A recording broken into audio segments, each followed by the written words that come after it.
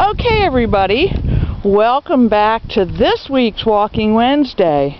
Yes, as you can tell by Mother Nature's show here, it is actually Saturday, our snow day.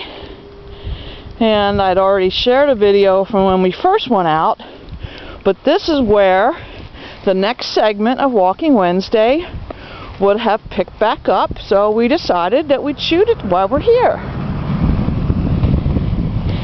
What you say, Khyra? Isn't this great?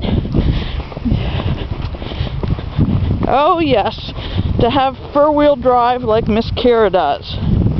My bare paw boots have been doing pretty well. I've been trying to walk where the vehicles have already been driven through. But of course somebody else has the ability to pick and choose where they'd like to go. Of course, this is the section of the walk that she loves to leave all her P-mails.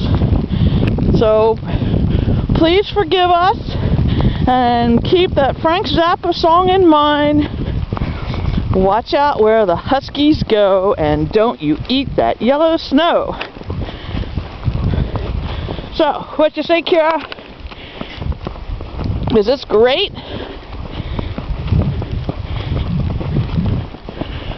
Don't think the club's going to be having any functions tonight. What do you think?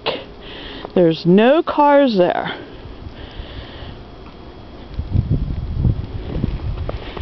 Yes. Little did I realize when we recorded last week's Walking Wednesday on Saturday afternoon what the week held for us with letting Kyrie cross. Once again, we really would like to thank everybody for all the kind words that you've left for us, the cards you've sent, the emails, all those things. They mean so much because I've said to some people I've spoken with and as we posted on the blog, every time any of you or any of us experience this memory, it goes back to our own memories. So, again, thank you very much.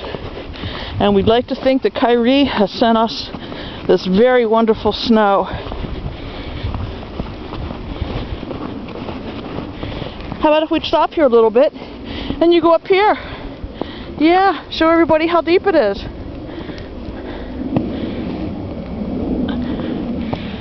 Just, yeah.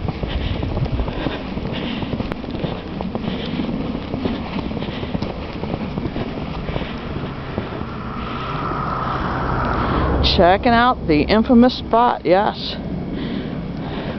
Where all the boys have already been. Wrapping herself around it. Yes! Woo! Leap! Leaping Siberian lizards!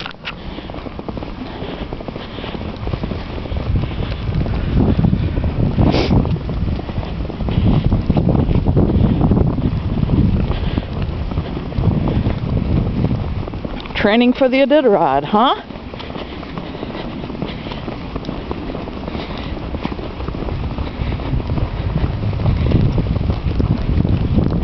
At least this way you don't hear Mom's noisy sneakers. You hear her bear paws kind of squeaking in the snow.